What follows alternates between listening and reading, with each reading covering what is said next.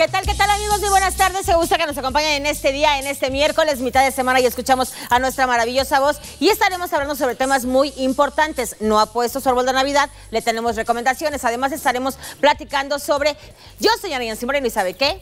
Comenzamos.